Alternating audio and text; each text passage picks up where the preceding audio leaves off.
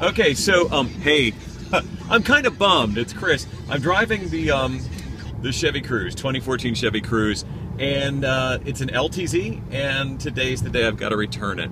Actually, I'm going to be completely honest. Let me merge.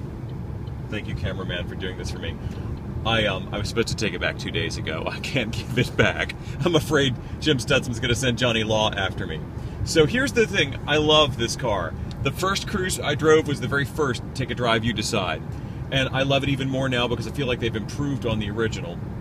Take a take a look through the, the cabin here. Can you see? Um, gorgeous, gorgeous interior. So comfortable.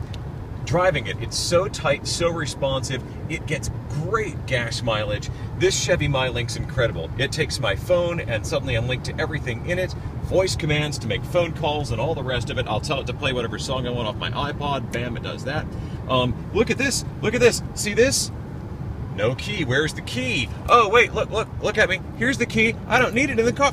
Oh, that's wonderful. The best thing about this was the remote start all these cold mornings, I'd go up to get my shower. Right before I did that, I'd go doot doot, and it would start the car. I walked out, my car was warmed up, ready to go. Chevy has put together the greatest car with this Cruze. I love it. I can't say enough about it. Uh, and if if you are looking around close enough, you'll probably find the kitchen sink. They've thrown everything in here.